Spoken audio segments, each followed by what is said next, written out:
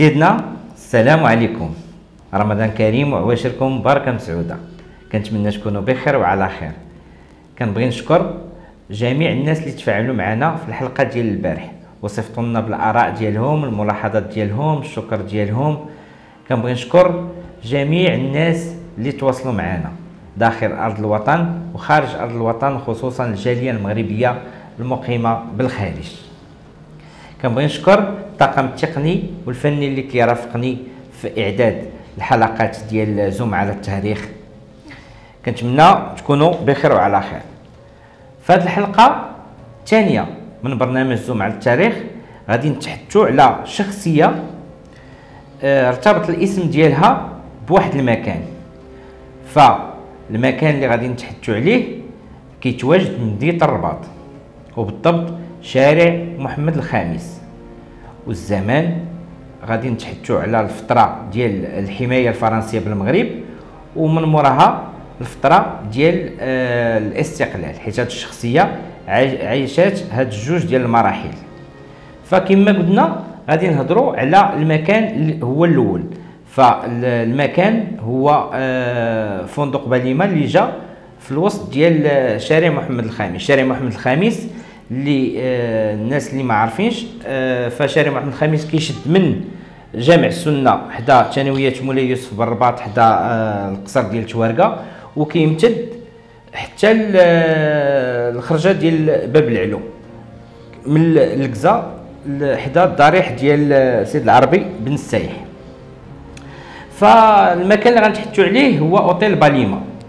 أوتيل باليما جا في الوسط ديال شارع محمد الخامس وبناه ثلاثة ديال المستثمرين. هذه واحد القرن من الزمن. أكثر أزيد من 100 سنة فاش تبنى. اوتيل باليما. بناوه كيف ما قلت ثلاثة ديال المستثمرين الفرنسيين اللي هما باردي ليو ريل وماتياس وهما اتخذت الأسماء ديالهم بثلاثة الحروف الأولى من الأسماء ديالهم ديال باردي ليوغيل وماتياس. من تما تكون الاسم التجاري باليما. فشارع محمد الخامس في ديك الوقت ديال عهد الحماية الفرنسية ما كانش كيجيو ليه الناس العامة ما كانش كيجيو الناس العاديين يدوروا تما في الشارع ولا يشريو من المحلات التجارية تما ولا يجلسوا في لي كافي اللي كاينين تما. فشارع محمد الخامس في ذاك الوقت كان معروف بالناس الفرنسيين وبالأجانب اللي ساكنين في المغرب وبالناس المغاربة اللي عندهم واحد الرخصة خاصة. هما اللي يمكن لهم يجيو لشارع محمد الخامس. فأوتيل باليما كما قلنا كانوا كيجيو ليه غير الناس الأرستقراطيين وكيجلسوا في لاطيراس ديال القهوة ديالو اللي كانت أون فاس مع مقابلة مع محكمة الاستئناف في ذاك الوقت. واللي فين كاين البرلمان دابا تما كانت محكمة الاستئناف فالناس في لاطيراس ديال الأوتيل باليما كانوا كيجلسوا غير الناس السياسيين والمثقفين والفنانة والناس الأرستقراطيين والبرجوازيين اللي كانوا كيجلسوا في ذاك لاطيراس ديال المقهى. والشخصية ديالنا ديال اليوم هي شخصية غريبة الأطوار حيت كان كيجلس في المقهى ديال باليما وكان كيثير الانتباه ديال الناس اللي شافو كيبغي يتعرف عليه. حيت اللباس ديالو لباس ديال السلاطين ديال المملكة العلوية الشريفة. فكان كيلبس البرنوس والسلهام بيض نعم سيدي هكا كيدير ناصع. وكان كيلبس طربوش مخزاني أحمر. وكان كيلبس بلغة زيوانية صفراء. وفي اليد اليمنى كيهز معاه واحد العصا ديال السلاطين وديال الناس البرجوازيين اللي كانوا كت كيهزوها في ديك الوقيته. واليد اليسرى كي ديما هاز السيجار وملي كيبغي يقضي شي غرض ولا شي حاجة كان ديما يا إما كيكري شي طوموبيل يا إما كياخذها من عند المعارف ديالو لأنه كان كيوهم الناس بأنه من الأسرة العلوية الحاكمة أنه من سلالة السلاطين أنه متقرب من مجموعة ديال الشخصيات وديال المسؤولين. ف كان كيحكم وكيصول ويجول في شارع محمد الخامس هو الحاكم بامره كيف ما كنقولوا في شارع محمد الخامس. هاد الشخصية هذه ديال حلقتنا اليوم من برنامج سمع التاريخ هو محمد الوزاني المعروف بسلطان باليما. فهاد سلطان باليما كيتقال بأنه من وزان وحتى واحد ما كيعرف الأصل ديالو ما كيعرف الفصل ديالو ما كيعرف منين جا ما كيعرف آه، عائلته ما عنده شي أصدقاء اللي مقربين أنه كيتحاكم معاهم ولا كيعاود ليهم ولا عارفين منين جا السيد ديما جالس بوحديتو بواحد اللباس اللي هو مخزانين عام سيدي ديال الناس الأليبة وديال السلاطين وكان كي دائما كيتسنى الفرصة فين ينقض على الفريسة ديالو. فهاد سلطان باليما كان معروف بالنصب والاحتيال.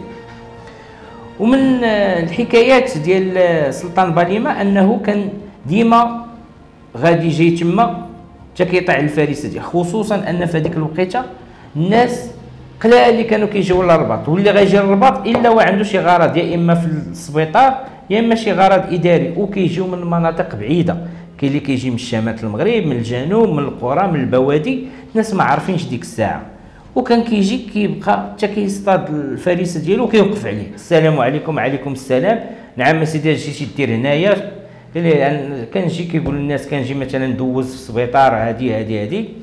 كيقول لهم واخا أنا راه هو المسؤول على آه سكانير ولا الراديو.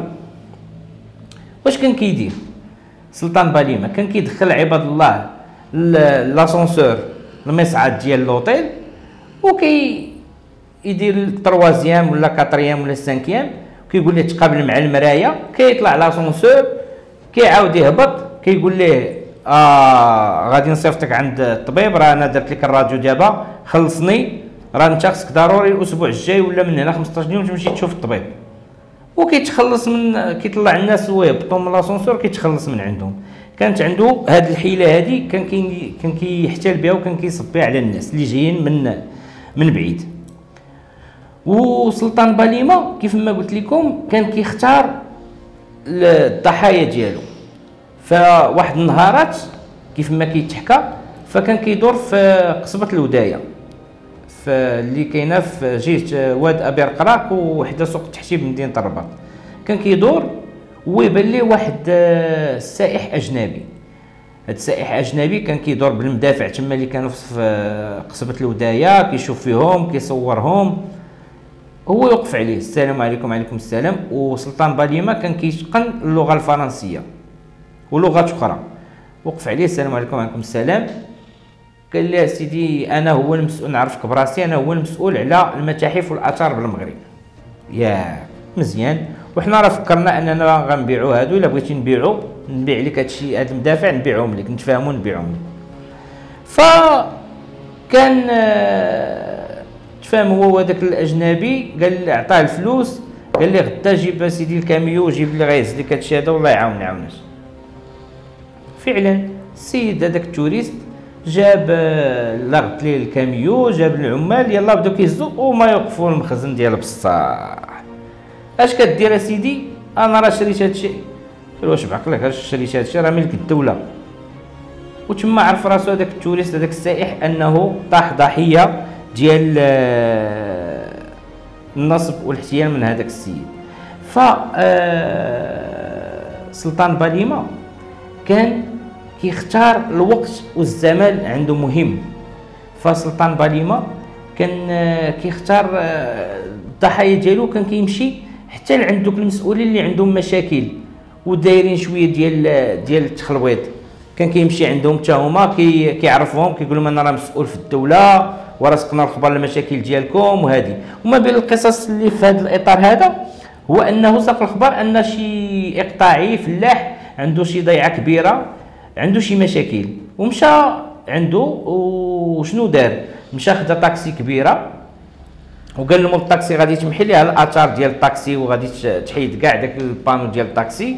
وركب هو اللور وركب الشيفور سايق به ديال الطاكسي حتى عند السيد قال لي أنا راه مسؤول وغادي نحل راه سقنا الخبر المشكل ديالك واش كاين اش كاين اش كاين.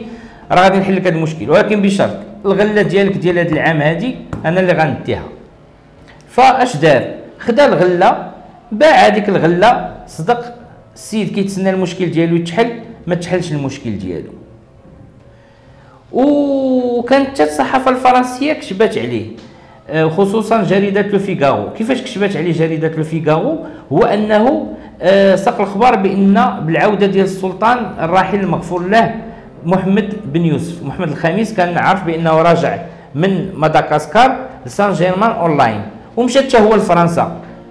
وكانوا في ديك المرحلة المغاربة كلهم كيتسناو آه العودة ديال السلطان محمد الخامس. فمشى لفرنسا والصحافة الفرنسية بقات منتبه لهذا السيد هذا لابس هذا اللباس المغربي مخزاني. شكون هو؟ مشاو تقربوا ليه عرفهم براسو بأنه من آه، آه، العائلة العلوية وأنه في انتظار ديال السلطان وهذه وداروا معاه كاع ادلى بالتصريح ديالو. فكان هذا السلطان هذا سلطان باليما فتا الضحايا ديالو اللي وقعوا في الشراك ديالو. كان آه، ما كيجيوش أنهم يرفعوا الدعوة. قليل قليل اللي كيرفعوا عليه الدعوات. وحتى آه، ماشي أنه ماشي فوق القانون ولكن أنه دخل المحاكم ودخل السجن شحال من مرة وخرج وهذا. حتى صاحب الجلالة الراحل الحسن الثاني الله يرحمه كان سايق ليه الخبر. كان سايق ليه الخبر والأخبار ديالو كان كي ديما كتوصلو. حتى لواحد النهارات طلع ليه في الراس طلعت ليه الأخبار ديال السلطان باليما ديال محمد الوزاني طلعت ليه في الراس. قال لهم أسيدي ديروا الحل مع هذا السيد هذا. وكيتقال بأن الجنرال التليمي هو اللي اعطى الفكرة أنه تحكم عليه المحكمة نهائيا أنه ممنوع يلبس مازال هذا الزي المخزني السلطاني فعلا حكمت عليه المحكمة باش أنه ممنوع يلبس مازال الزي ديال المخزني. ولا حتى هو لقى حيلة أخرى. ما بقاش كيلبس ذاك الزي ديالو ديال السلهام وديال البرنوس وديال الطربوش المخزني ولا كيلبس الكوستيم والبدلة الكلاسيكية. كيدير معاها طربوش اللي كنسميو الطربوش الوطني أحمر وكان كيجلس آه، في قهوة باليما ولا كيجلس في قهوة ال Renaissance في اللي كاينة حتى هي في en face مع La Comédie في شارع محمد الخامس. كان كيجلس تما. واش كيدير؟ كان كيتباهى. ولاو الفلوس كيبانوا ولا ملي كيجلس كيبغي يخلص مثلا ال serveur ولا كيخلص السرباي كيبغي يدور معاه كيجبد la somme كبيرة ديال الفلوس. باش كيتم انتباه كيقولوا ما بقاش دابا مسؤول. ولا دابا مستثمر ولا اقطاعي حتى هو. حيت بدل الحيلة حيت المحكمة حكمت عليه أنه ما يبقاش يستعمل داك اللباس آه، المخزني. فسلطان باليما كيف ما قلنا ما كانش ما كانش عنده أخبار ما كانش أخبار عليه كثيره تكتبت عليه. وكان هو آه، كان باغي أنه كان كيوجد مع شي صحفي فرنسي كان غيكتب عليه كتاب ولكن ما ما ما تكتبش أنه يكتب ذاك الكتاب. وكان كيتقال أنه آه، كان عزيز عليه الشخصية ديال محمد حسن الوزاني. الرئيس ديال حزب الشورى والاستقلال. كان عزيز عليه الشخصية. ربما الاسم ديالو اقتبسوا من الاسم ديال محمد حسن الوزاني أو أنهم بجوجهم من مدينة وزان. فكانت عزيز عزيز عليه الشخصية ديال السي محمد حسن الوزاني.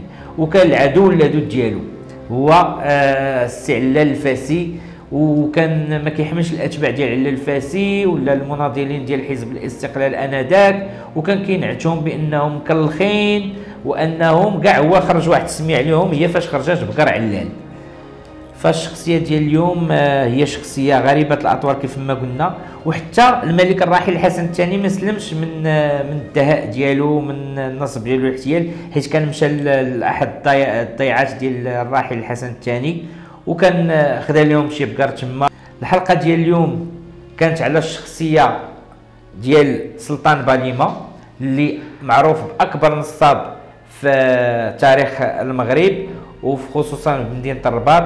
كنتمنى أن هذه الحلقة تعجبكم. آه رمضان كريم وعواشركم مبروكه خليت لكم الراحة.